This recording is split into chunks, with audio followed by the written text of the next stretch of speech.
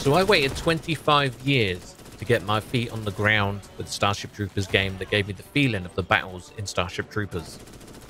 The original Starship Troopers movie blew my mind back in the 90s. Paul Verhoeven movies were some of my favorites at the time and still are to this day. Starship Troopers is really stuck in my mind, and those battles especially has really stayed with me. And games have come and passed, but they've never really nailed that feeling of Starship Troopers until today. Starship Troopers Extermination has launched on Steam Early Access, and I've got to say, it really gives that feeling of the movies, those battles on Klendathu that we all wanted to experience. And I'm just going to say it straight off the bat, I highly recommend Starship Troopers Extermination.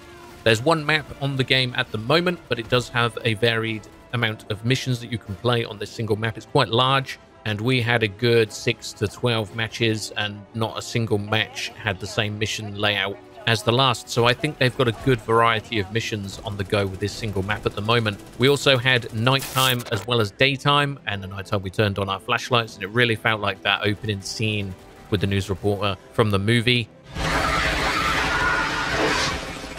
on! Come on! You want some? Here's some! Yeah! Here's some And you just can't help but say the lines from the movies as you're playing. You apes want to live forever! At least on the US servers, it was just non-stop. Europe was a bit quieter when we switched the region, but US was non-stop movie references and lines from the movie. It was pretty helped with the immersion, though some people went a bit too far. Watch out, I got proximity mines right there. Holy shit, somebody else is talking? Any supports you can carry too, so make sure to grab them. Uh, I am in, indeed a support, but I am also retarded. Welcome to the infantry. Welcome to the mobile infantry. Refinery activated. I'm doing my part. You're the perfect soldier. I'm doing my part. I'm doing my part. I'm doing my part. I'm doing her with my part. But regardless of that, it was an extremely fun time, and I actually enjoyed it more the more I played it as I learned, because it does have a kind of basic building mechanic as a part of the game. So you've got to kind of build walls once you get to a certain section of the mission, which is generally the end part of your mission set that you're laid out with. So you first have to capture the landing zone and defend it against the arachnid threat, and then you get pushed on and you have to, say, power some generators. And then once those generators are powered, it pushes you forward onto a payload that you've got to defend and a main like kind of base, which is your spawn point, which it does do throughout each of these stages. It gives you a spawn point and some ammo to resupply. And then towards the end, where you get the payload or the area of the uh, like main base kind of thing, it drops down like a bunker. You've got to build in this restricted area. You can put walls up, watchtowers, turrets, uh, electrified fences, and ramps and, and a couple of different things. There's not too many, probably about 10, I'd say, ish. And it does take a little bit of getting used to switching to your building tool and then switching to build and repair. But once you do get used to the building mechanic, you're pretty set. It's you can build your base together with the 16 other players that you play with cooperatively, which I think is the only way you can actually play the game. I don't think there's a private server. You have to play with random 16 players, or if you've got 16 friends, you can load up and uh, probably find a server for you. But it's uh, it's a fun time either way with randoms. Everybody seems to work together at the moment. That might change down the line though if people start to just not play the game anymore, and hopefully Offworld actually keep pumping out the content.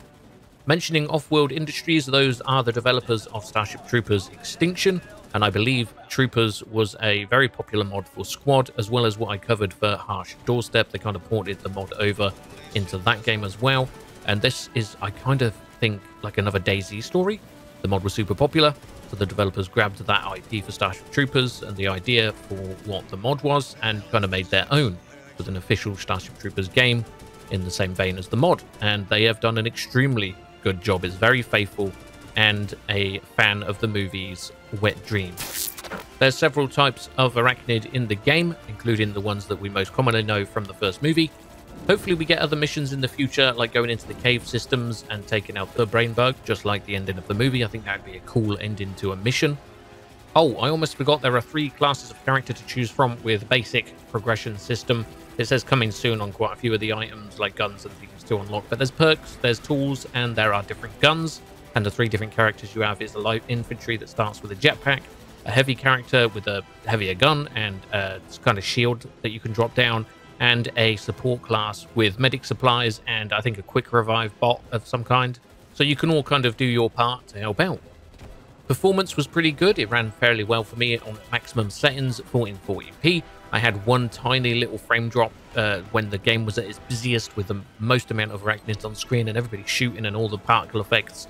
Uh, other than that, though, it seemed to run extremely smooth for me, so I shouldn't think most people will have an issue depending on the settings that you have. I probably have just one criticism, and that is the gore. You know, that the human gore was as much as the arachnid gore. Now, the arachnids, there are blood and parts of arachnids and corpses laying everywhere. But for humans, there's no human corpses, no body parts, nobody gets torn apart and flung across the landscape. So I'm not sure if that's just Offworld wanting to keep the rating down, equals more sales or something like that, or it's just not implemented yet. But I think I would like, as well as many other people, to see more human gore, body parts, maybe corpses laid about with the arachnid corpses, just to make it a little bit more immersive, like something went down there.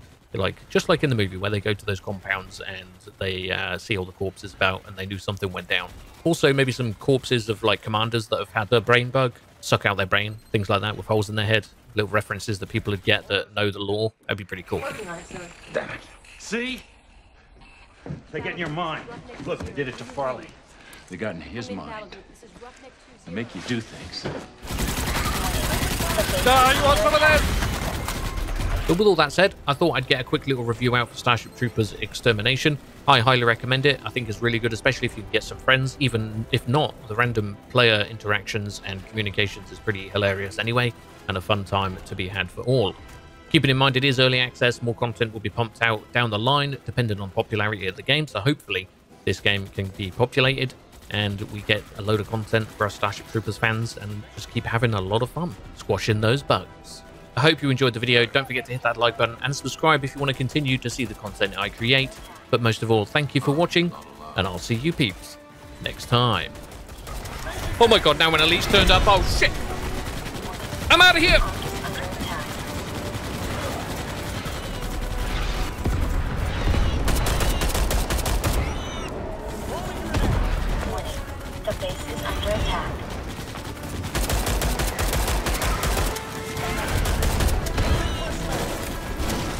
I've got three bullets. I need to save one for myself.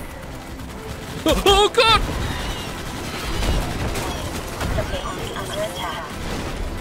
I'm loving the game so far. It's just like the battles in the movie. Oh, you want some of this? You want some of this? Ah! Everyone's doing their part. Are you?